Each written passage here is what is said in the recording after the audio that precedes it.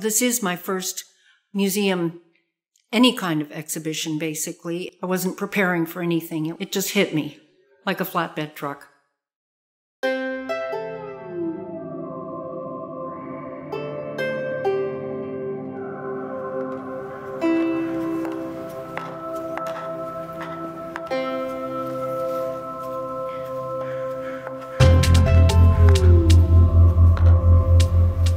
It took me a long time before I was willing to think that maybe I was an artist.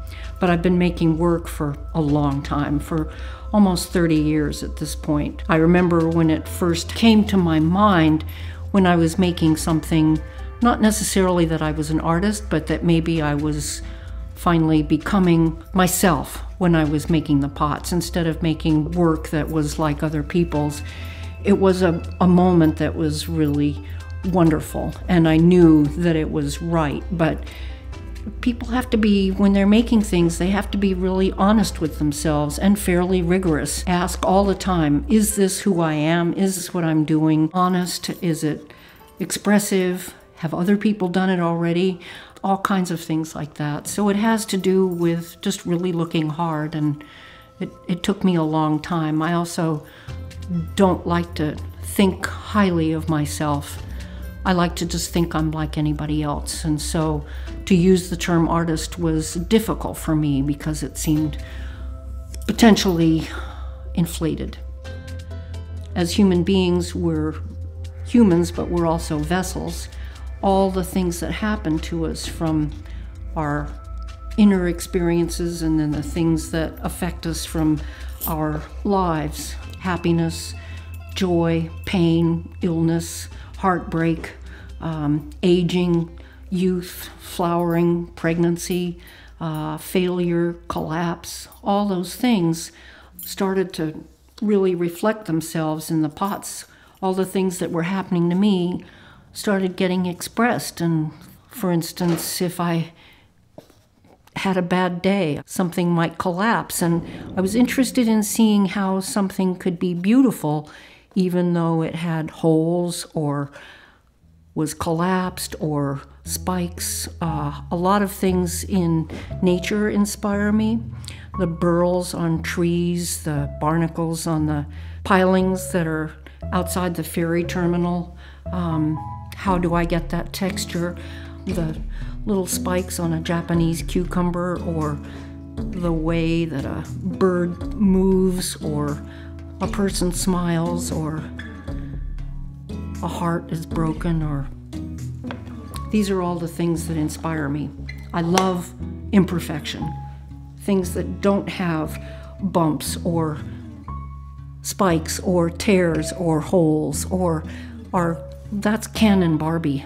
That's and Kardashian. That's not interesting and I I can't imagine being friends or or loving people that didn't have imperfections. And as we age, all kinds of things happen to us that we at first think, oh gosh, I'm losing this, or I'm not that anymore, or there's so much regret. And I just think, no, that's, wait a minute, that's, that's just who we are. The process for my ceramics is, except for one pot in this show, they're all coil built, which is a pre wheel thrown technique uh, of taking long snakes of, of clay and piling them up on top of each other, smearing them together, and then scraping things and smoothing it and manipulating it into all kinds of shapes, whatever you want. The stitch drawings evolved from a series of jackets and vests that I was quilting with a, an, a fairly ancient stitch from Japan, which is a long running stitch called sashiko stitch. And I, at one point, noticed that I liked the shape of the pattern of one of the things that I was getting ready to cut out again.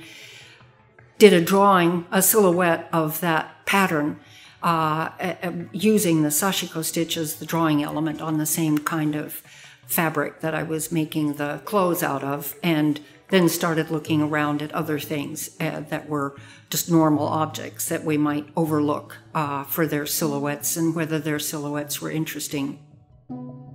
The embroideries for the Valentines for my husband evolved from my learning embroidery as a little kid. I lived in a French boarding school in Cannes, France for two years, and as a six year old learned how to embroider, and I just never stopped. So that was a way of showing that I also know old school embroidery.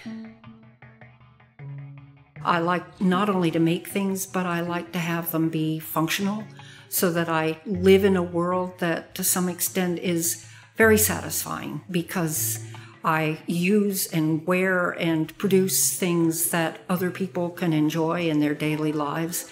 And these things have all evolved from it. The first of the collapsed pieces was at the beginning of the pandemic when it seemed like everything was kind of getting turned upside down. They all start vertically. Collapsing some of them seemed to, to me, to be helping me understand where other things were collapsing also, and then still getting back up or still looking beautiful one way or the other. There was uh, one that I did after my sister died, which was about her death. It didn't make it through the firing, so it's not part of the show, but it helped me to understand that some of these can represent different kinds of feelings that we go through at a difficult time, but that we still are surviving. What I've learned from my art from this exhibition is it always had to do with thinking about other people and what we go through, how we experience our lives, and how internally and externally our lives are affected by all the forces that we go through, good and bad, and how we can be beautiful in spite of all of us being transformed in some ways that take us off the perfection path. And what I've learned from all of this is that other people connect with this in ways that are profoundly amazing to me, that this means so much to other people. I never would have thought that that could happen from my making these things.